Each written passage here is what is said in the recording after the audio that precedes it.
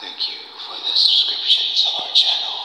Please, if you do, like and subscribe.